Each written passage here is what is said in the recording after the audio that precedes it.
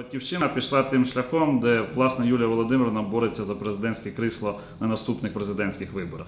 Чітко було зрозуміло, що референдуму в силу законодавства, яке є в нашій державі, не буде. І в даному випадку, мабуть, це було більше політичною грою зі сторони батьківщини і їх лідера. Для нас це було конкретне питання відстояти землю і направити справді у професійне русло. Хоча на місцях знову ж е, ми дійсно поєднували зусилля з різними політичними силами для того, щоб швидко зібрати необхідні підписи. І я не здивуюся, що у певних регіонах є підписи, які зібрані батьківщиною і передані аграрній партії.